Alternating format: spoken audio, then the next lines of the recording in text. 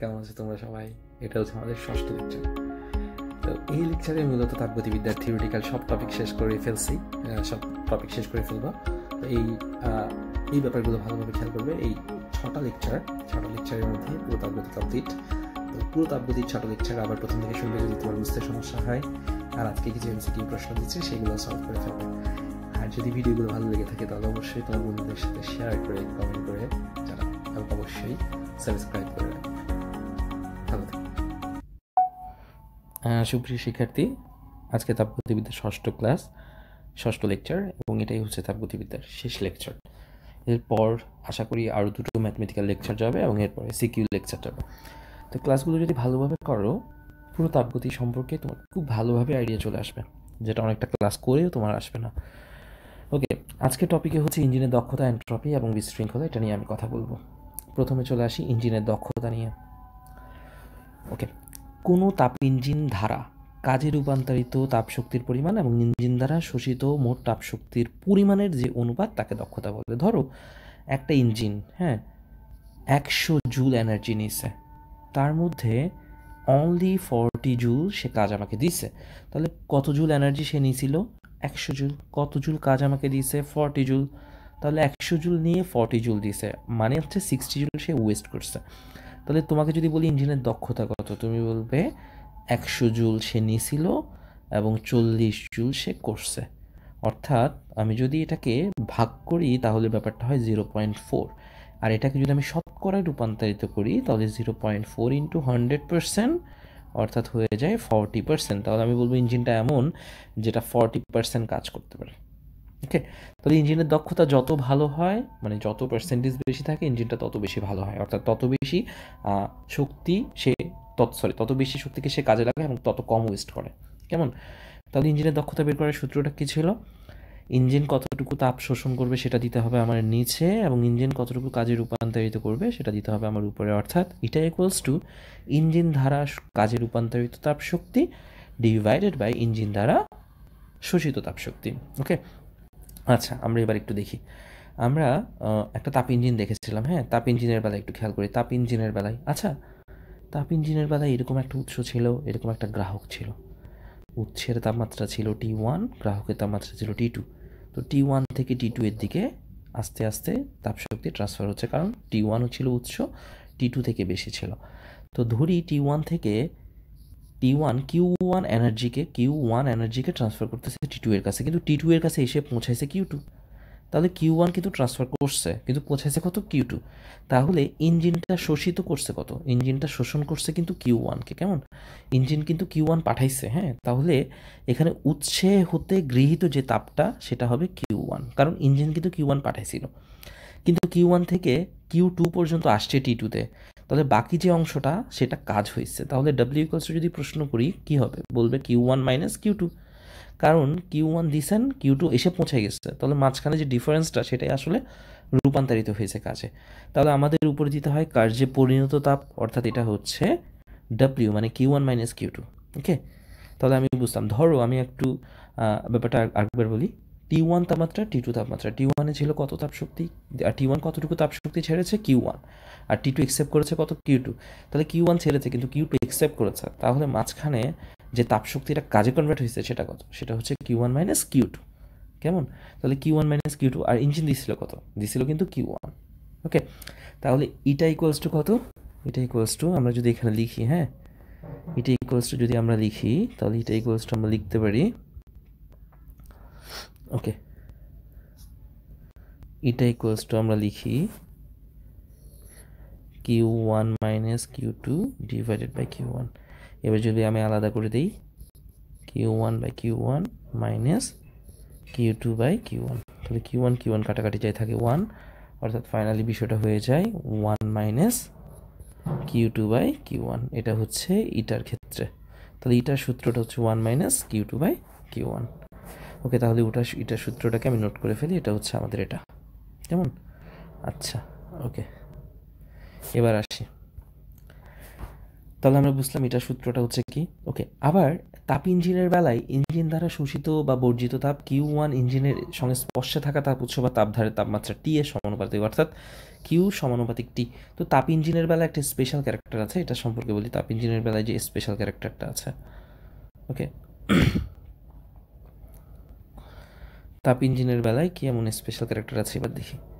আচ্ছা তাপ ইঞ্জিনের বেলায় একটা তাপ ইঞ্জিনে ধরো এটা হচ্ছে আমাদের উৎস, এটা হচ্ছে টি ওয়ান এটা হচ্ছে টি টু তো এখান থেকে যে টেম্পারেচার যে তাপশক্তিটা দিচ্ছে সেটা হচ্ছে কিউ ওয়ান তো তাপ ইঞ্জিনের বেলায় কিউ ওয়ানটা টি ওয়ানের সমানুপাতি, অর্থাৎ আমি লিখতে পারি যে টি ওয়ান সমানুপাতিক কিউ ওয়ান এবং অনুরূপভাবে আমি লিখতে পারি যে সে গ্রহণ যা করতেছে তা হচ্ছে টি টু এর সমানুপাতিক, অর্থাৎ টি টু সমানুপাতিক কিউ টু তাহলে এই দুটো সমানুপাতিক ব্যাপারগুলোকে যদি আমি একটা দিয়ে একটাকে ভাগ দেই, অর্থাৎ বিষয়টা হচ্ছে টি ওয়ান ইকুয়াল করলে ধ্রুবক আসে কিউ ওয়ান হয়। আর এটাও সেম টু সেম ধ্রুবক আসে কিউ টু হয়। যদি একটাকে দিয়ে একটাকে ভাগ করি, তাহলে বিষয়টা হয়ে যায় T one by T two আর এখানে হয়ে যায় K Q one by K Q two K K কাটাকাটি চলে যায়। তাহলে আর একটু সাজে লিখলে জিনিসটা লিখতে পারি। আমি যদি উল্টাই জিনিসটাকে লিখি মানে Q two by Q one লিখি, তাহলে এখানে লেখা যায় কিন্তু T two by T one এটা হচ্ছে তাপ ইঞ্জিনের বেলায়। কার বেলায়? তাপ ইঞ্জিন। তাপ ইঞ্জিনের বেলায় এটা লেখা যায়। তাপ ইঞ্জিনের বেলাও লেখা যায়। আবার যে প্রসেসগুলো রিভার্সেবল অর্থাৎ প্রত্যগামী হ্যাঁ? সেই প্রসেসগুলোতেও এটা লেখা যায়। অর্থাৎ তাপ ইঞ্জিনের বেলা লিখতে পারি অথবা রিভার্সেবল প্রসেসের ক্ষেত্রে লিখতে পারি Q two by Q one equals to T two by T one তাহলে দক্ষতা সূত্র একটু আগে বের করেছিলাম, এটা equals to one minus T two by T one ছিল। তাহলে এটাকে আমি সরি এটাকে আমি কি লিখতে পারি? T one by T two ছিল না, এটা ছিল Q two by Q one তাহলে আমি রিভার্সেবল প্রসেস বা তাপ ইঞ্জিনের জন্য লিখতে পারি এটাকে T two by T one তাহলে এটা লিখতে পারব কখন কখন? প্রত্যগামী প্রক্রিয়া যেগুলো অথবা তাপ ইঞ্জিন যেগুলো অথবা আদর্শ ইঞ্জিন যেগুলো। তাহলে ওই তিনটা ক্ষেত্রে আমি লিখতে পারি one minus T two by T one কেমন? ওকে আচ্ছা এরপরে চলে আসি আমরা। ঠিক আছে, তাহলে এই জিনিসটা আমরা বুঝলাম হ্যাঁ? ওকে। দক্ষতাকে আমরা চাইলে শতকরায় প্রকাশ করতে পারি, সাধারণত শতকরায় প্রকাশ করা হয় শতকরায় প্রকাশ করলে তেমন কিছু না জাস্ট একটা হান্ড্রেড পার্সেন্ট গুণ করে দিতে হবে, কেমন? আচ্ছা এই যে দক্ষতার ব্যাপারটা, এবার আসি। এখানে একটা ইম্পর্টেন্ট প্রশ্ন আছে যে, ইঞ্জিনের দক্ষতা কখনোই হান্ড্রেড পার্সেন্ট হতে পারে না। এই জিনিসটা আমরা জানব, ইঞ্জিনের দক্ষতা কি কখনো হান্ড্রেড পার্সেন্ট হতে পারে কিনা, এটা একটু আমি এক্সপ্লেন করি। হ্যাঁ ইঞ্জিনের দক্ষতা কি হান্ড্রেড পার্সেন্ট হতে পারে কিনা? আচ্ছা ইঞ্জিনের দক্ষতার সূত্র এতক্ষণ আমরা বের করেছি হ্যাঁ সূত্রটাকে আরেকবার আমরা একটু লিখি। এটা ইকুয়ালস টু ছিল আমাদের one minus T two by T one into hundred percent তো ইঞ্জিনের দক্ষতা তো কখনো হান্ড্রেড পার্সেন্ট হতে পারে না। হ্যাঁ এটা আমি প্রমাণ করব। তো প্রমাণ করার জন্য আমি ধরে নিচ্ছি সাপোজ আমি ধরে নিলাম suppose eta equals to hundred percent আমি ধরে নিছি কিন্তু এটা। তো আমি যদি ইটার মান হান্ড্রেড পার্সেন্ট বসাই, তাহলে বিষয়টা হয়ে যায় ইটার জায়গায় আমি হান্ড্রেড পার্সেন্ট দিলাম, আর এখানে দিচ্ছি one minus T two by T one into hundred percent তাহলে আমি ওই জাস্ট ইটা যেখানে ছিল, ওখানে আমি হান্ড্রেড পার্সেন্ট দিছি, কারণ আমি ধরে নিয়েছি দক্ষতা হান্ড্রেড পার্সেন্ট তখন কী হবে? উভয় পাশ থেকে হান্ড্রেড পার্সেন্ট এবং হান্ড্রেড পার্সেন্ট কেটে দিব। তাহলে এখানে থাকে আমাদের ওয়ান আর এখানে থাকে one minus T two by T one transfer করে ফেলি।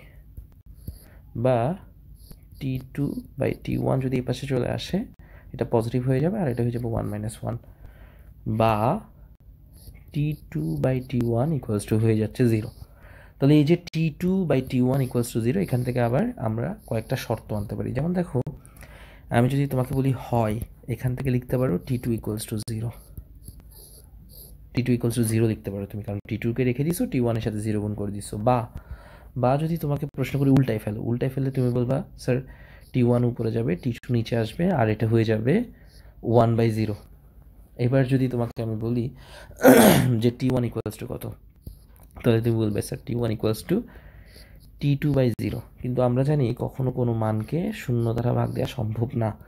এটা একটা অসংজ্ঞায়িত ব্যাপার যেটাকে কখনো সংজ্ঞায়িত করা যায় না। সুতরাং টি ওয়ান ইকুয়ালস টু হয়ে যায় অসংজ্ঞায়িত। অসংজ্ঞায়িত মানে এখানে হবে আসলে অসীম ইনফিনিটি হ্যাঁ তাহলে বিষয়টা একটু খেয়াল করো। T two by T one মানে দক্ষতা যদি কখনো হান্ড্রেড পার্সেন্ট হয় হ্যাঁ এটা যদি কখনো হান্ড্রেড পার্সেন্ট হয়, তাহলে অবশ্যই T two by T one হতে হবে zero R T two by T one যদি জিরো হয়, তাহলে টি টু হবে জিরো মানে গ্রাহক টি টু তো গ্রাহক ছিল, তাই না? গ্রাহক হবে শূন্য। আর অপর পক্ষে উৎস যেটা টি ওয়ান সেটাকে হতে হবে অসীম। তো এই ব্যাপারটা আসলে কখনোই সম্ভব না। অর্থাৎ কখনোই কোনো তাপ ইঞ্জিনের উৎস অসীম হতে পারবে না এবং গ্রাহক কখনো শূন্য হতে পারবে না। অসীম মানে এটার কোনো সংজ্ঞা নাই, আর শূন্য মানে এটার কোনো তাপমাত্রা নাই। এটা আসলে কখনোই সম্ভব না। দ্যাটস ওয়াই আমরা আনসার দিতে পারি যে টি ওয়ান অসীম হওয়া টি টু শূন্য হওয়া কখনোই সম্ভব না। যার কারণে এটা কখনো হান্ড্রেড পার্সেন্ট হতে পারে না। অর্থাৎ ইঞ্জিনের দক্ষতা কখনোই একশো পার্সেন্ট হতে পারে না। এটাই হচ্ছে আসলে কেন ইঞ্জিনের দক্ষতা হান্ড্রেড পার্সেন্ট হতে পারে না, তার একটা টার্ম এটা পরীক্ষায় আসছে দুই নম্বরের জন্য, অনেক সময় চার নম্বরে বা তিন নম্বরে চলে আসতে পারে। সো এটা আমরা নোট করে ফেলব এই প্রশ্নটা। এবার চলে আসি পরের টপিকে অ্যান্ট্রপি ও বিশৃঙ্খলা, কেমন? ওকে অ্যান্ট্রপি অ্যান্ট্রপি মানে কি? সাধারণভাবে অ্যান্ট্রপিকে সংজ্ঞায়িত করা সহজ নয়। চলুন, আমরা একটা শ্রেণীকক্ষের উদাহরণের মাধ্যমে অ্যান্ট্রপিকে বোঝার চেষ্টা করি। একটি শ্রেণীকক্ষে একজন শিক্ষক পড়াচ্ছেন, কিন্তু তিনি কোনোভাবেই ছাত্রদের মনোযোগ আকর্ষণ করতে পারছেন না। দুজন ছাত্র গল্প করছে, তাদের পাশে বসা ছাত্রটি খেলতেছে, অন্য একজন ছাত্র জানলা দিয়ে বাইরে তাকিয়ে আছে। এই ঘটনা চলতে থাকলে শ্রেণীকক্ষের পড়ার পরিবেশ নষ্ট হবে এবং শিক্ষকও ছাত্রদের মনোযোগ দিয়ে পড়াতে পারবেন না। ফলে শ্রেণীকক্ষে একটা বিশৃঙ্খলা সৃষ্টি হয়। বিশৃঙ্খলা যত বৃদ্ধি পাবে অ্যান্ট্রপি তত বৃদ্ধি পাবে। এই হচ্ছে ব্যাপার। অ্যান্ট্রপি মানে হচ্ছে বিশৃঙ্খলা। হ্যাঁ তো সিস্টেমের বিশৃঙ্খলার যে পরিমাপ সেটাকে অ্যান্ট্রপি বলে। এটা তোমার বুঝতে একটু ঝামেলা হবে। আমি আমার এক্সাম্পল দিয়ে তোমাকে বোঝাচ্ছি। ধরো, কোনো একটা সিস্টেম আমাকে কাজ করে দেয় হ্যাঁ? তো যখন সিস্টেমটা কাজ করা শুরু করে, তখন অ্যান্ট্রপি থাকে সর্বোচ্চ। সরি শূন্য। কাজ শেষ হতে থাকলে অ্যান্ট্রপি হয়ে যায় সর্বোচ্চ। যেমন আমি তোমাকে বলি, তুমি চা খাচ্ছ, গরম গরম চা খাওয়ার জন্য। তো আস্তে আস্তে চা খাচ্ছ। চা খাওয়াটা একটা কাজ কিন্তু। তো চা খাওয়ার শুরুতে অ্যান্ট্রপি ছিল শূন্য। আস্তে আস্তে তুমি কাজটা শেষ করতেছো অ্যান্ট্রপি হয়ে যাচ্ছে সর্বোচ্চ। যেমন একটা গাছে হ্যাঁ একটা আম গাছে আম আছে। আম আছে, তখন অ্যান্ট্রপি হচ্ছে শূন্য। ধূপ করে আমটা নিচে পড়ে গেছে, তখন অ্যান্ট্রপি হয়ে গেছে সর্বোচ্চ। অর্থাৎ প্রতিটা কাজের শুরুতে থাকে অ্যান্ট্রপি শূন্য, আর কাজ শেষ হলে হয়ে যায় অ্যান্ট্রপি সর্বোচ্চ। অর্থাৎ অ্যান্ট্রপি সর্বোচ্চ মানে হচ্ছে কাজ শেষ। যেমন একটা টিচার এইখানে যে এক্সাম্পলটা দিয়েছে সেটা আবারও আমি এক্সপ্লেন করে দিই আমার মতন করে। এই যে একজন টিচার ক্লাসে আসছে, তখন কিন্তু অ্যান্ট্রপি ছিল শূন্য। তখন তোমরা পড়া বোঝার চেষ্টা করতেছো। কিন্তু একটা সময় গিয়ে ক্লাসের এক ঘণ্টা যখন হয়ে যায় মানে একটা ক্লাস পিরিয়ড যখন শেষ হয়ে যায়, তখন অ্যান্ট্রপি হয়ে যায় সর্বোচ্চ। অর্থাৎ টিচার হাজার পড়ালেও তুমি সেখানে পড়া বুঝবে না। এটাই হচ্ছে আসলে অ্যান্ট্রপি অর্থাৎ কোনো একটা সিস্টেম যখন কাজ শুরু করে অ্যান্ট্রপি থাকে শূন্য, আর সিস্টেম যখন একদম শেষ প্রান্তে চলে যায় কাজের, তখন অ্যান্ট্রপি হয়ে যায় সর্বোচ্চ। অর্থাৎ অ্যান্ট্রপি দিয়ে আমি বলতে পারি সিস্টেমটা থেকে আমি আর কতটুকু কাজ পাবো। যেমন তোমাকে যদি আমি বলি যে একটা টিচার ক্লাসে ঢুকছে অ্যান্ট্রপি হচ্ছে ওয়ান আর হাইস্ট হচ্ছে হান্ড্রেড তো রেহানা ম্যাডাম ক্লাসে আসছে, মনে করো হ্যাঁ আমাদের ক্লাসে রেহানা ম্যাডাম আসছে। সে বলছে, স্যার অ্যান্ট্রপি কত? তো আমি তখন বললাম যে ম্যাডাম অ্যান্ট্রপি হচ্ছে আশি। তখন ম্যাডাম বুঝে যাবে যে, না ক্লাস প্রায় শেষের প্রান্তে চলে আসছে। আর ম্যাডাম আসার সাথে যদি যদি আমি বলি যে ম্যাডাম অ্যান্ট্রপি হচ্ছে টেন মানে বোঝা যাচ্ছে আমি মাত্র পড়ানো শুরু করছি। এখন স্যারকে ডিস্টার্ব করা ঠিক হবে না। যথারীতি রেহানা ম্যাডাম তো সবসময় আমাদের ওই টাইমেই মানে দ্বিতীয় ঘন্টায় এসে ডিস্টার্বটা করে। আচ্ছা যাই হোক, আমরা চলে আসি অ্যান্ট্রপির ব্যাপারটাতে কেমন? আচ্ছা কোনো সিস্টেমের বিশৃঙ্খলা সূচক পরিমাপকে কী বলা হয়? অ্যান্ট্রপি বলা হয়। ওকে আচ্ছা এবার অ্যান্ট্রপিকে আমরা কীভাবে আসলে মাপবো? আচ্ছা অ্যান্ট্রপি আসলে আমরা কখনো মাপতে পারি না অ্যান্ট্রপির পরিবর্তন আমরা নির্ণয় করতে পারি, কারণ অ্যান্ট্রপি হয় না অ্যান্ট্রপির পরিবর্তন হয়। অর্থাৎ একটা শুরু আর একটা শেষ, দুটো পয়েন্টের যে পরিবর্তন, সেটাই হচ্ছে আসলে অ্যান্ট্রপির পরিবর্তন হ্যাঁ? আচ্ছা ধরো কোনো একটা সিস্টেমের টি তাপমাত্রা ডি কিউ পরিমাণ তাপ সে গ্রহণ বা বর্জন করছে অ্যান্ট্রপির পরিমাণ যদি ডিএস হয়, তাহলে অ্যান্ট্রপি পরিবর্তন বের করার সূত্র হচ্ছে D Q by T okay তাহলে অ্যান্ট্রপির পরিবর্তনকে আমরা ডিএস দ্বারা প্রকাশ করি।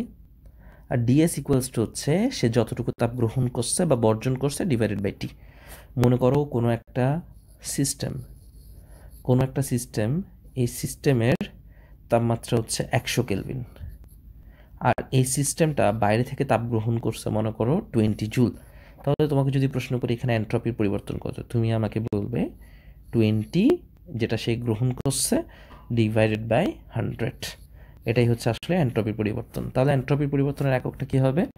তাপ গ্রহণ বা বর্জন, এটা শক্তি, এটাকে জুল বলি, আর টেম্পারেচারকে আমরা বলি কেলভিন তাহলে এন্ট্রপির একক হচ্ছে জুল পার কেলভিন ওকে তাহলে এন্ট্রপির সূত্রটা কি আরেকবার বলো? ডিকিউ বাই ডিটি ওকে তাহলে ডিএস ইকুয়ালস টু হচ্ছে আবার এন্ট্রপির পরিবর্তন ডিকিউ বাই ডিটি ওকে এবার আসো রুদ্রতাপীয় প্রক্রিয়া। ওই যে রুদ্রতাপীয় যে প্রসেসটা ছিল, সেখানে কিন্তু একটা ব্যাপার ছিল। মনে আছে? রুদ্রতাপীয় প্রক্রিয়া কাকে বলে? যেটা পরিবেশের সাথে তাপের আদান প্রদান করে না। অর্থাৎ বাইরে থেকে ভেতরে আসে না তাপ, ভেতর থেকে বাইরে যায় না। যেমন একটা ফ্লাক্স, একটা ফ্রিজ, এটা হতে পারে রুদ্রতাপীয় প্রক্রিয়ার এক্সাম্পল হ্যাঁ? তো রুদ্রতাপীয় প্রক্রিয়া যেহেতু বাইরে থেকে তাপ ভেতরে আসে না বা ভেতর থেকে বাইরে যায় না, তাই এখানে ডিকিউর পরিমাণ হচ্ছে শূন্য। আর ডিকিউর পরিমাণ যদি শূন্য হয়, তাহলে অ্যান্ট্রপি ডিএস বের করার সিস্টেম কি? ডিকিউ বাই টি তো ডিকিউর মান যদি তুমি শূন্য বসাও, আর টি এর মান যাই বসাও না কেন, এটা কিন্তু শূন্য আসবে। তাহলে রুদ্রতাপীয় প্রক্রিয়ায় অ্যান্ট্রপির পরিবর্তন হয় না। কেমন? আচ্ছা তাহলে আমরা বুঝলাম যে রুদ্রতাপীয় প্রক্রিয়া হচ্ছে এমন একটা প্রসেস যেটা তাপের আদান প্রদান করে না, আর অ্যান্ট্রপি বের করার সূত্র হচ্ছে ডিকিউ বাই টি তো যেহেতু ডিকিউ শূন্য, তাই রুদ্রতাপীয় প্রসেসে অ্যান্ট্রপির কোনো পরিবর্তন হয় না। তাহলে আমি অ্যান্ট্রপি পরিবর্তনের সংজ্ঞাটাকে চেঞ্জ করে দিতে পারি। দেখি। রুদ্ধতাপীয় প্রক্রিয়ায় রুদ্ধতাপীয় প্রক্রিয়ায় বস্তুর যে তাপীয় ধর্ম স্থির থাকে, অর্থাৎ রুদ্ধতাপীয় প্রক্রিয়ায় বস্তুর যে তাপীয় ধর্ম পরিবর্তন হয় না মানে এন্ট্রপি পরিবর্তন হয় না, কারণ এন্ট্রপির মান, পরিবর্তনের মান হচ্ছে শূন্য রুদ্রতাপীয় প্রক্রিয়ায়। তাহলে রুদ্রতাপীয় প্রক্রিয়ায় বস্তুর যে তাপীয় ধর্ম স্থির থাকে, তাকে এন্ট্রপি বলা হয়। তাহলে এন্ট্রপির সংজ্ঞা কীভাবে দিতে পারি? দুটো, একটা হচ্ছে বিশৃঙ্খলার মানে সহজ কথায় বিশৃঙ্খলা থাকে একটি সিস্টেমের বিশৃঙ্খলা তাকে এন্ট্রপি বলা হয়। অথবা এটাও দিতে পারি রুদ্রতাপীয় প্রক্রিয়ায় যে তাপীয় ধর্ম অপরিবর্তিত থাকে, অর্থাৎ স্থির থাকে, তাকে বলা হয় এন্ট্রপি অথবা আরেকটা জিনিস বলতে পারি অ্যান্ট্রপি হলো বস্তুর এমন এক ভৌত ধর্ম যা রুদ্রতাপীয় প্রক্রিয়ায় স্থির থাকে। তাহলে অ্যান্ট্রপির ব্যাপারটা কি তোমরা বুঝতে পেরেছ? তো অ্যান্ট্রপি মানেই হচ্ছে একটি সিস্টেম কতটুকু সচল বা কতটুকু কাজ আমাকে দেবে, এটাই হচ্ছে আসলে অ্যান্ট্রপির পরিবর্তন। ওকে, এরপরে চলে আসি। এবার আমরা কিছু কাজ দেখব এখানে, কিছু ম্যাথমেটিক্যাল ট্রাম দেখব, দেখি। একটি কার্নো ইঞ্জিন দুইশো সাতাশ ডিগ্রি সেলসিয়াস এবং সাতাশ ডিগ্রি সেলসিয়াস তাপমাত্রায় কাজ করে। কর্মদক্ষতা নির্ণয় করো। আমি জানি তোমরা পারবে এটা এবং তোমরা এটা করে ফেলবে। এরপরে এক্সাম্পলে আসি। একটি তাপীয় ইঞ্জিন কার্যকরী বস্তু থেকে কার্যকরী বস্তু, একটি তাপীয় ইঞ্জিনের কার্যকরী বস্তু। একটি তাপীয় ইঞ্জিনের কার্যকরী বস্তুটা কী ছিল? ওয়ার্কিং সাবস্ট্যান্স প্রতিবার উৎস থেকে যে পরিমাণ তাপ গ্রহণ করে, কাজ সম্পন্ন করার পর তার ষাট পার্সেন্ট বর্জন করে। ইঞ্জিনটির কর্মদক্ষতা নির্ণয় করে। আচ্ছা সে যা গ্রহণ করে তার ষাট পার্সেন্ট তাপ সে বর্জন করে। আচ্ছা তাহলে আসো। সে যা গ্রহণ করে, গ্রহণটা কী ছিল আমাদের? কিউ ওয়ান ছিল। ধরি কিউ ওয়ান সে গ্রহণ করে। আর কত পার্সেন্ট বর্জন করে? সিক্সটি পার্সেন্ট মানে কিউ টু ইকুয়ালস টু হচ্ছে যা গ্রহণ করে মানে কিউ ওয়ানের সিক্সটি পার্সেন্ট অর্থাৎ sixty percent of Q one মানে হচ্ছে সিক্সটি পার্সেন্ট মানে হচ্ছে sixty by hundred sixty by hundred okay Q one মানে হচ্ছে zero point six Q one তাহলে আমরা কিউ টু এর মানও পেয়ে গেছি। তো আমাকে বলছে কর্মদক্ষতা, আমরা তো জানি এটা সূত্র হচ্ছে, এটা সূত্র হচ্ছে ওয়ান মাইনাস এটা দিয়ে করতে পারি, অথবা ওটা দিয়ে করতে পারি, যেটা আমরা জানি। হ্যাঁ ওটা কি ছিল? এটা ইকুয়ালস টু ওটাকে ভেঙে লিখলে আর কি, ওটা দিয়ে করে ফেলতে পারি। তাহলে ওটা দিয়ে বসে আমরা করে ফেলব, অর্থাৎ ফর্টি পার্সেন্ট এটা মুখেও বলা যায়, কারণ সিক্সটি পার্সেন্ট সে বর্জন করে। তো ফর্টি পার্সেন্ট কাজ করে, সহজ একটা বিষয়। আচ্ছা আর একটা এক্সাম্পল দেখি। সাতাশ ডিগ্রি সেলসিয়াস এবং একশো পঞ্চাশ ডিগ্রি সেলসিয়াস তাপমাত্রা দ্বয়ের মধ্যে একটি কার্যরত কার্নো ইঞ্জিন এত তাপশক্তি সরবরাহ করা হলো। কর্মদক্ষতা নির্ণয় করব, সাতাশ এবং একশো পঞ্চাশ দিয়ে আমরা করে ফেলতে পারব। ইঞ্জিনটি কতটুকু তাপশক্তিকে কাজে রূপান্তরিত করবে? অর্থাৎ আমরা প্রথমে ইটাটা বের করে ফেলব, এরপরে ইটা বের করে আমরা এটা বের করে ফেলব। আচ্ছা ইটার সূত্র তাহলে মূলত কয়টা? ইটাকে আমরা কীভাবে সংজ্ঞায়িত করতে পারি? দেখো, ইটা ইকুয়ালস টু আমরা এটা ইকুয়ালস লিখতে পারি one minus Q two by Q one hundred percent অথবা one minus T two by T one into hundred percent অথবা এটা ইকুয়ালস এগুলোকে না ভেঙেও কিন্তু লেখা যায় হ্যাঁ?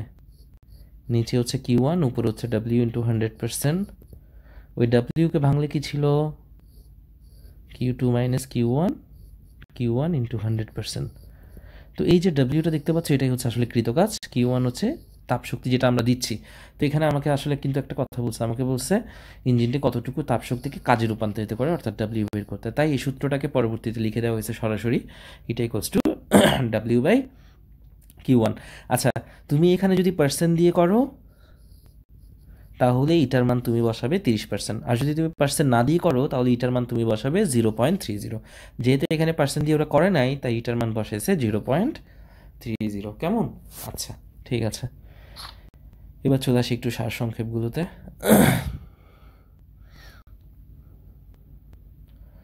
ওকে আচ্ছা।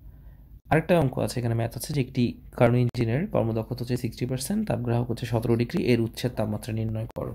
আচ্ছা এটার উচ্ছেদ তাপমাত্রা তোমরা নিজেরাই নির্ণয় করবা।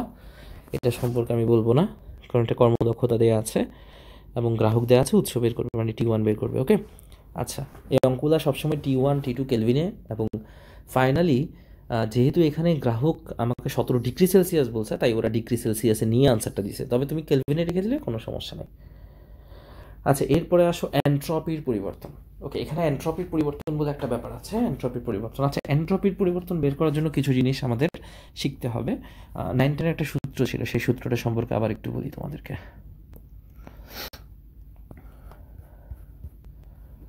এটা ছিল আমাদের অ্যান্ট্রপির পরিবর্তনের সূত্র, কেমন? আচ্ছা গৃহীত বা বর্জিত তারপর একটা সূত্র আমরা পড়েছিলাম না? তোমাদের মনে আছে? সেটা হচ্ছে এম এস ডেলথিটা দুটো সূত্র আছে। একটা হচ্ছে এম এস ডেলথিটা হ্যাঁ আচ্ছা আরেকটা হচ্ছে কিউ ইকুয়ালস টু সেটা হচ্ছে M L F sorry M L okay তাহলে দুটো সূত্র দিয়ে কিউ সবসময় বের করা যাবে। একটা হচ্ছে এম এস ডেলথিটা আর একটা হচ্ছে এম এল প্রশ্ন আসতেছে যে, স্যার, কখন আমরা এম এস ডেলথিটা ইউজ করব আর কখন আমরা এম এল ইউজ করব? ওকে প্রশ্ন আসতেছে যে, কখন এম এস ডেলথিটা হবে, কখন এম এল হবে। আচ্ছা এম এস ডেলথিটার ব্যাপারটা বলি, যদি কখনো তাপমাত্রার পরিবর্তন হয়। আচ্ছা তাহলে তাপমাত্রার পরিবর্তন হলে, যদি তাপমাত্রার পরিবর্তন হয়, তাহলে কিউ ইকুয়ালস হচ্ছে এম এস ডেলথিটা আবার এস এখানে দুটো আছে, একটা হচ্ছে বরফের জন্য। এস আইস যেটাকে আমরা বরফের জন্য লিখি, সেটা হচ্ছে দুই হাজার একশো joule per kg per kelvin. এটাকে বলা হয় বরফের আপেক্ষিক সুপ্ত তাপ সরি বরফের আপেক্ষিক তাপ ব্যাপারটা কি? এটা মানে হচ্ছে, একটু খেয়াল করো অ্যাজ আইস দুই হাজার একশো joule per kg per kelvin অর্থাৎ এক কেজি এক কেজি বরফের, এক কেজি বরফের তাপমাত্রা এক কেলভিন বাড়ানোর জন্য দুই হাজার একশো জুল এনার্জি আমাদের প্রয়োজন হয়। এটাই হচ্ছে বরফের আপেক্ষিক তাপ, অর্থাৎ এক কেজি বরফের তাপমাত্রা এক কেলভিন বাড়ানোর জন্য দুই হাজার একশো জুল তাপমাত্রার তাপশক্তির প্রয়োজন হয়। এটাই হচ্ছে বরফের আপেক্ষিক তাপ। ঠিক সেরকম আরেকটা আপেক্ষিক তাপ আছে যেটা আমাদের সবসময় ব্যবহার করতে হবে। আর প্রত্যেকটা জিনিসের একটা করে আপেক্ষিক তাপ আছে। তামার আছে, দস্তার আছে। তবে এখানে বরফ পানিরটাই আসে মূলত আমাদের এক্সপেরিমেন্ট এক্সাম্পলগুলোতে মানে আমাদের ম্যাথ করতে গেলে। তাই দুটো নিয়ে আমি বলছি মূলত। এস ডাব্লিউ মানে হচ্ছে ওয়াটার তো ওয়াটারের হচ্ছে আবার চার হাজার দুশো joule per kg per kelvin অর্থাৎ এক কেজি পানির যে তাপমাত্রা, সেটাকে আমি এক কেলভিন বাড়ানোর জন্য চার হাজার দুশো জুল তাপশক্তির প্রয়োজন। তাহলে দেখা যাচ্ছে পানিরটার অর্ধেক হচ্ছে বরফেরটা। তাহলে আমাকে আরেকবার বলতো বরফের আপেক্ষিক তাপ কত? দুই হাজার একশো। আর পানির আপেক্ষিক তাপ কত? চার হাজার দুশো এককগুলো যেন ভুল না হয়। Joule per kg, per kelvin. এবং এখান থেকে শিখে ফেলছি যে আপেক্ষিক তাপের সংজ্ঞাটা কী, সেটাও নোট করে ফেলব। অর্থাৎ প্রতি কেজি ওই পদার্থের প্রতি কেজির তাপমাত্রা প্রতি একক বাড়ানোর জন্য সরি প্রতি কেজির তাপমাত্রা প্রতি কেলভিন বাড়ানোর জন্য যে তাপশক্তির প্রয়োজন হয়, তাকে বলা হয় আসলে ওই পদার্থের আপেক্ষিক তাপ। কেমন? আচ্ছা। ওকে। তাহলে তাপমাত্রার যদি পরিবর্তন হয়, তাহলে এম তো বুষ্ট জিনিসটার ভর অ্যাস হচ্ছে কি আপেক্ষিক তাপ ডেলটিটা হচ্ছে যে পরিবর্তনটা হয়েছে। ওকে তাহলে এম অ্যাস ডেল থিটা দিয়ে আমরা বের করে ফেলতে পারি কিউ এর মান। আচ্ছা ডেল থিটার ক্ষেত্রে একটা কথা বলি। ডেল থিটার ক্ষেত্রে ব্যাপারটা হচ্ছে, তাপমাত্রার যে পরিবর্তনটা হয়েছে সেটা দিতে হবে আমাদের। ওকে আমি তোমাকে একটু জিনিসটা বলি। ধরো একটা বরফ। এটা একটা বরফ ছিল, এটার টেম্পারেচার ছিল মাইনাস টু ডিগ্রি সেলসিয়াস এটা তাপ গ্রহণ করছে হ্যাঁ তাপ গ্রহণ করে জিরো ডিগ্রি সেলসিয়াসে বরফ হয়েছে তাহলে এটা কিন্তু বরফ ছিল, এটাও কিন্তু বরফ আছে। তো মাইনাস টু ডিগ্রি সেলসিয়াস থেকে জিরো ডিগ্রি সেলসিয়াস হয়েছে তাহলে এখানে যে তাপমাত্রার পরিবর্তনটা হয়েছে সেটা হচ্ছে মাইনাস টু থেকে কত হয়েছে জিরো ওকে তাহলে মাইনাস টু থেকে কত ডিগ্রি হয়েছে? জিরো ডিগ্রি এখন যদি আমাকে বলা হয় এখানে কি হয়েছে, তো আমি বলব মাইনাস টু ডিগ্রির যে বরফটা, সেটা কিন্তু তাপ গ্রহণ করে জিরো ডিগ্রির বরফ হয়েছে। তাহলে এখানে হচ্ছে আমাদের আসলে গৃহীত তাপ। তো এখন আমি যদি বলি গৃহীত তাপ কত, তাহলে আমি বলব গৃহীত তাপ কি ইকুয়ালস আমরা জানি এম এস ডেলথিটা তাহলে এম এস ডেলথিটা কেন? কারণ এটার তাপমাত্রা চেঞ্জ হয়েছে। মাইনাস টু থেকে এটা জিরোতে গেছে। তো আমি আবারও বলতেছি, যদি তাপমাত্রা চেঞ্জ হয়, তাহলে সূত্র হচ্ছে এম এস ডেলথিটা এবার আমাকে কিন্তু এখানে বরফের ভর দেয় নাই। ধরে নাও, আমি দিচ্ছি এখানে এক কেজি বরফ। কত কেজি? এক কেজি। তাহলে সবসময় কেজিতে নিয়ে যেতে হবে। এম এর মান হচ্ছে ওয়ান কেজি। আর যেহেতু বরফ নিয়ে কথা বলছি, তাই হবে দুই হাজার একশো। আর ডেল থিটা হচ্ছে মাইনাস টু থেকে জিরো হয়েছে। তাহলে বিষয়টা হচ্ছে মাইনাস টু ছিল, এখন জিরো হয়েছে। তাহলে সবসময় উঁচুটা থেকে, অর্থাৎ যে তাপটা বেশি, সেটা থেকে ছোটোটা বিয়োগ। মাইনাস টু থেকে কিন্তু জিরো বেশি। হ্যাঁ মাইনাস টু ডিগ্রি সেলসিয়াস থেকে জিরো বেশি দ্যাটস ওয়াই জিরো থেকে মাইনাস মাইনাস টু দিব। তো এটা অটোমেটিক্যালি আমাকে দিবে দুই হাজার একশো ইন্টু টু এর একটা কথা বলি, তাপমাত্রার পার্থক্যকে কখনো কেলভিনে কনভার্ট করতে হয় না। পার্থক্য অটোমেটিক্যালি কেলভিনে কনভার্ট হয়ে যায়। তাই মাইনাস টুকে কখনো কেলভিনে নিতে হবে না বা জিরোকে কেলভিনে নিতে হবে না। সরাসরি তুমি সেলসিয়াসে বিয়োগটা দিয়ে দিবা, ওটা অবশ্যই কেলভিনে কনভার্ট হয়ে যাবে। তাহলে এইভাবেই আসলে বের করতে হয়। ঠিক অনুরূপভাবে তোমাকে যদি আমি বলি যে একটা পাত্রে কিছু পানি আছে হ্যাঁ? এই পানির টেম্পারেচার হচ্ছে মনে করো বিশ ডিগ্রি সেলসিয়াস এবং এখানে যে পানিগুলো আছে সেটা হচ্ছে মনে করো পাঁচশো গ্রাম। তাহলে এই পানিটা যদি এখন ফর্টি ডিগ্রি সেলসিয়াসের পানি হয়ে যায়, তাহলে গৃহীত তাপ বা বর্জিত তাপ কোনটা হয়েছে সেটা বলব এবং কত সেটা বলব? বিশ থেকে চল্লিশ হয়েছে। যেমন এটা আমাকে তোমরা বের করে বলবা। আচ্ছা এইভাবেই আমরা গৃহীত বা বর্জিত বের করতে পারি। যদি তাপমাত্রার পরিবর্তন ঘটে। ওকে আরেকটা সূত্র আছে যেটাতে তাপমাত্রার পরিবর্তন ঘটে না। যদি তাপমাত্রার পরিবর্তন না ঘটে, যদি তাপমাত্রার পরিবর্তন না ঘটে, এভাবে নোট করে ফেলবে যা আমি লিখে দিচ্ছি সেটা হচ্ছে Q equals to M L যদি তাপমাত্রার পরিবর্তন না ঘটে, তাহলে সূত্রটা হচ্ছে এম এল এম হচ্ছে ভর, বুঝতে পেরেছ? এল কিন্তু এখানে আবার দুটো আছে। একটা হচ্ছে বরফের।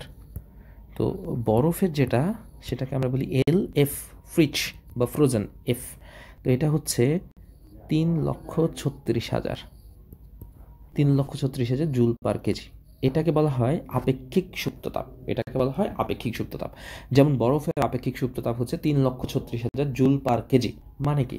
মানে হচ্ছে, এটাকে বলা হয় কি সুপ্ততাপ? আপেক্ষিক সুপ্ততাপ।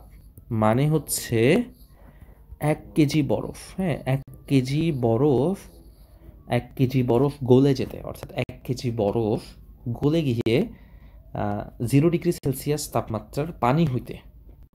বরফ তো জিরো ডিগ্রি সেলসিয়াসে আসবে। যেন এক কেজি জিরো ডিগ্রি সেলসিয়াসের বরফ গলে গিয়ে জিরো ডিগ্রি সেলসিয়াসের পানি হতে তিন লক্ষ ছত্রিশ হাজার জুল এনার্জির প্রয়োজন হয়। ওকে এইখানে তাপমাত্রার কোনো চেঞ্জ হয় না। এখানে ওই তাপমাত্রায় থাকে, যার কারণে এখানে একক হচ্ছে জুল পার কেজি মনে রাখবা। তাহলে এটা হচ্ছে বরফের আপেক্ষিক সুপ্ততাপ। আরেকটা আপেক্ষিক সুপ্ততাপ আছে, সেটা হচ্ছে বাষ্পের। তাহলে যদি বাষ্প হয়, তাহলে সেটার আপেক্ষিক সুপ্ততাপ হচ্ছে এলভি। এটাকে আমরা ভ্যাপর বা বাষ্প থেকে বলি এলভি। এটা হচ্ছে বাইশ লক্ষ আটষট্টি হাজার জুল পার কেজি। তাহলে এটা মানে কি? এটা মানে হচ্ছে এক কেজি বাষ্প, হান্ড্রেড ডিগ্রি সেলসিয়াসের, সরি এক কেজি পানি হান্ড্রেড ডিগ্রির যে বাষ্প হয়, এক কেজি পানি হান্ড্রেড ডিগ্রির যে বাষ্প হয়, সেটা হওয়ার জন্য প্রয়োজন হয় বাইশ লক্ষ আটষট্টি হাজার জুল এনার্জি। ওকে? আচ্ছা তার ওটা কি ছিল? এক কেজি বরফ গোলে পানি হতে তিন লক্ষ ছত্রিশ হাজার জুল তাপশক্তির প্রয়োজন হয় এবং এই ঘটনাটা অবশ্যই জিরো ডিগ্রি সেলসিয়াসে ঘটে। ঠিক আছে, তাহলে আমি একটা এক্সাম্পল দিয়ে বুঝাই দিই। মনে করো আমাকে বলছে যে এখানে একটা বরফ আছে।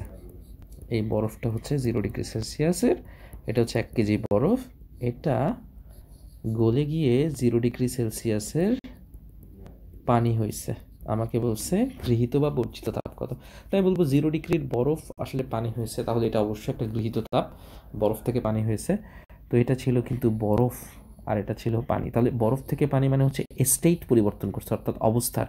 এবং তাপমাত্রা দেখো জিরো জিরো তো তাপমাত্রা যেহেতু পরিবর্তন হয় নাই, তাহলে এখানে কিউ এর সূত্র হচ্ছে এম এল এম কত? এক কেজি। ওকে, আর এল কোনটা দিব? যেহেতু বরফ থেকে পানি হয়েছে, তাহলে বরফ চেঞ্জ হয়ে পানি হয়েছে, অর্থাৎ স্টেট ছিল বরফ। তাহলে এল এফ এটা হচ্ছে তিন লক্ষ ছত্রিশ হাজার। কেমন? ওকে তাহলে কেজি কেজি কাটা গেলে জুলি থাকে। তাহলে কিউ এর মান এইভাবে বের করতে হয়। তাহলে আশা করি তোমরা বুঝতে পেরেছ যে কিউ বের করার জন্য দুটো সূত্র। সূত্রগুলো কি ছিল? আরেকবার বলো আমাকে। কিউ ইকুয়ালস টু একটা সূত্র হচ্ছে এম এস ডেল থিটা যদি তাপমাত্রা পরিবর্তন ঘটে। আরেকটা কি? Q equals to M L যদি তাপমাত্রার পরিবর্তন না ঘটে। তো এই দুটো সূত্র দিয়ে কিন্তু মূলত আমরা ম্যাথগুলো সলভ করব। কেমন? ওকে ঠিক আছে। যেমন এই সূত্রটা, এই অঙ্কটা আমরা এখন করব, দেখি। জিরো ডিগ্রি সেলসিয়াস তাপমাত্রার তিন কেজি বরফ জিরো ডিগ্রি সেলসিয়াস তাপমাত্রা পানি হয়েছে। তাহলে দেখো জিরো ডিগ্রি সেলসিয়াস থেকে জিরো ডিগ্রির পানি হয়েছে। তাহলে এখানে প্রথমে আমার থেকে বের করতে হবে যে ডি কিউ এর মান। ডি কিউ মানে হচ্ছে কিউ তাহলে সূত্রটা কি শিখিয়েছি? এম এল ওকে তাহলে এম কত হবে বলো? ওই যে দেখো D Q equals to M L F M হচ্ছে তিন কেজি। আর এল তো বলেই দিয়েছি, তিন লক্ষ ছত্রিশ হাজার। ওটাকে এভাবে লেখা যায় three point three six into ten to the power five joule per kg. তাহলে ওখান থেকে ডি কিউ বের করে ফেলছি। আর আমাকে বলছে অ্যান্ট্রপি পরিবর্তন বের করতে। আচ্ছা ঘটনাটা ঘটেছে কত? জিরো তাপমাত্রায়, জিরো ডিগ্রি সেলসিয়াস। তাহলে এটাকে কেলভিনে কনভার্ট করছি। জাস্ট মানটা বসে দিয়েছি আনসারটা চলে আসছে। এবং এক হচ্ছে জুল পার কেলভিন। আচ্ছা এখানে একটা কথা বলে রাখি। তাপমাত্রা যদি সিঙ্গেল থাকে, তখন তাকে কনভার্ট করতে হয়। এটা একটু বলি। যেমন মনে করো, তোমাকে বলা হয়েছে, তোমাকে বলা হয়েছে টোয়েন্টি ডিগ্রি সেলসিয়াস। তাহলে এটাকে কেলভিনে কনভার্ট করো। তাহলে দুইশো তিয়াত্তর যোগ করো, টোয়েন্টি প্লাস দুইশো তিয়াত্তর, অর্থাৎ হচ্ছে দুইশো তিরানব্বই কেলভিন কেমন? কিন্তু তোমাকে যদি বলা হয় যে বিশ ডিগ্রি সেলসিয়াস থেকে তিরিশ ডিগ্রি সেলসিয়াসের ডিফারেন্স কত, তাহলে ওটাকে কেলভিনে কনভার্ট করতে হয় না। কারণ তিরিশ থেকে যদি তুমি বিশ বিয়োগ দাও, ওটা অটোমেটিক্যালি কেলভিনে চলে আসবে আনসার আচ্ছা আমি তোমাকে আরেকটু এক্সপ্লেন করে বুঝাই দিই। যেমন দেখো সিঙ্গেল টেম্পারেচারকে কেলভিনে কনভার্ট করতে হয়, কিন্তু ডাবল টেম্পারেচারের পার্থক্য যদি থাকে, তাহলে সেটা অটোমেটিক্যালি কেলভিনে যাবে। কীভাবে দেখো? তুমি বিশ ডিগ্রি সেলসিয়াসকে কেলভিনে নাও, তাহলে সেটা হচ্ছে দুশো তিরানব্বই কেলভিন আর তিরিশ ডিগ্রি সেলসিয়াসকে কেলভিনে নাও, তাহলে সেটা হচ্ছে তিনশো তিন কেলভিন এবার তুমি বিয়োগটা দাও। তাহলে তিনশো তিন মাইনাস দুশো তিরানব্বই, তাহলে ওটা হচ্ছে টেন কেলভিন এখানে অনেকে আছে, বোকার মতন একটা কাজ করে, সেটা হচ্ছে পার্থক্য বের করে, যেমন বিশ ডিগ্রি সেলসিয়াস থেকে তিরিশ ডিগ্রি সেলসিয়াসের পার্থক্য যদি দশ ডিগ্রি সেলসিয়াস আসে, সেটাকে আবার কেলভিনে কনভার্ট করে এবং পুরো অঙ্কটাই ভুল হয়ে যায়। এই ব্যাপারগুলো একটু খেয়াল রাখবে। তাহলে এটাই হচ্ছে আমাদের, দেখো আমরা কত সুন্দর করে একটা অঙ্ক করে ফেলছি। আচ্ছা এবার চলে আসি সার সংক্ষেপ হুম। ইঞ্জিনের দক্ষতা জিনিসটা সম্পর্কে মূলত আজকের ক্লাসে আমি বলছি। এটা ছাড়া আমাদের আর কিছু নাই আজকের ক্লাসে এবার এমসিকিউগুলোতে একটু চলে আসো। হ্যাঁ। এমসিকিউগুলো তুমি করবা। রুদ্রতাপীয় প্রক্রিয়ায় যে ভৌত রাশিটি স্থির থাকে সেটা কি? উৎসের তাপমাত্রা টি ওয়ান এবং তাপ গ্রাহকের তাপমাত্রা যদি টি টু হয়, দক্ষতার সূত্র কোনটি? বের করবে। আচ্ছা একটি ইঞ্জিন চার হাজার পাঁচশো জুল তাপ গ্রহণ করে দুই হাজার পাঁচশো জুল বর্জন করে, ইঞ্জিন দ্বারা কৃত কাজ কত? বের করবে। কিছু এমসিকিউতে আসে চূড়ান্তভাবে। তাপমাত্রা পরিমাপের এসআই একক কি? হ্যাঁ তাপগতীয় তাপগতিবিদ্যার প্রথম সূত্রটি নিচের কোন দুটির মধ্যে সম্পর্ক স্থাপন করবে?